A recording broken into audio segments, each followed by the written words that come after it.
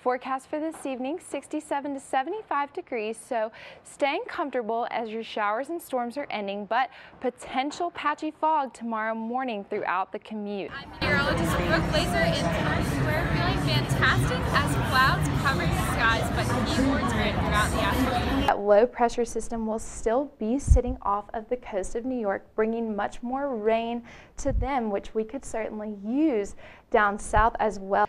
Expect 39 degrees tonight, cooling conditions and cloud cover. 68 degrees tomorrow. Wear white for our white game will be a lot less hot than maroon. Satellite and radar is completely clear throughout northeast Mississippi right now. Today, 93, but the average is 85, so 8 degrees above average with your record staying at 98. Around the DC metro area, we'll continue dreaming of a white Christmas, highs hitting 49 degrees on Sunday, so much too warm for any snowfall.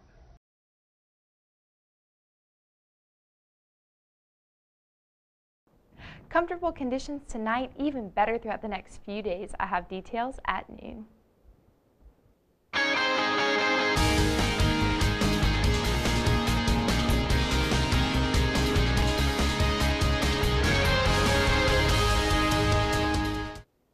Good morning, MSU. I'm Campus Connect meteorologist Brooke Laizer with this Tuesday forecast. Happy fall break eve. We're one day closer to the much needed break. We've all awaited no rain in sight throughout the rest of this week, and that has had burn bans in effect for forecasting areas. Right now, 75 degrees out on our junction, an absolutely gorgeous day picture perfect conditions with winds from the south southeast at 11 miles per hour. So feeling a bit breezy while walking to and from class, but that is without a doubt welcome. Now, we've talked about this tremendous weather, but it has been dry and allowed droughts throughout the entire forecast area. You can see burn bans in effect in Starkville as well as Calhoun City and Aberdeen throughout the rest of northeast Mississippi. Those are all elevated, meaning that fire experts are allowed to burn, but no one else is.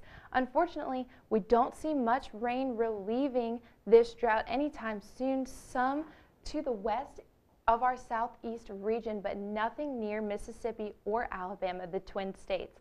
Lows this morning below 50 degrees, 49 in Ackerman as well as Eupora, 48 in Starkville, West Point, and 46 in Columbus. So very chilly as you're walking out of the door. May have needed to go grab a sweater before walking through the day. Temperatures rising up to 25 degrees. You can see 77 in Ackerman, Eupora, Starkville, and 76 in West Point and Columbus. So feeling fantastic right now, and our highs only creeping up a bit. Dew points below 50 across the board, which is allowing for a fantastic hair day. Your frizz factor in Starkville 49 degree dew point allowing for sleek hair. It's an awesome time to stray from those ball caps. Your Tuesday planner looking lovely throughout the rest of our afternoon. Maybe want to go sit out on the porch at 929, 83 at 3, and then dropping down throughout the rest of our evening, eventually to 49 degrees. No needed AC tonight. 84 degrees tomorrow as you're headed out of town for fall break driving or driving to eventually fly like I'll be doing.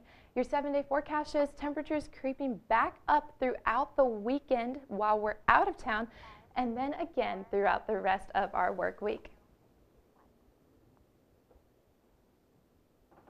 Now, thanks to our weather intern, Brooke Laizer, for getting us this great video. She did a nice job, didn't yeah, she? she did. Might end up getting herself hired. As a photographer, right?